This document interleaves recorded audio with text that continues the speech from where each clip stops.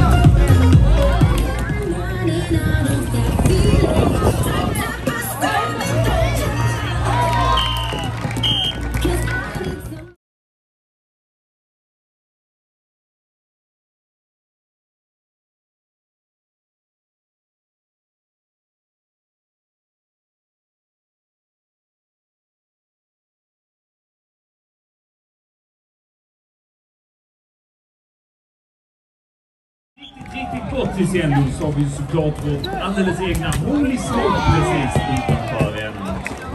Vi fortsätter njuta av slutspelet och fantastiskt väder här på arenan.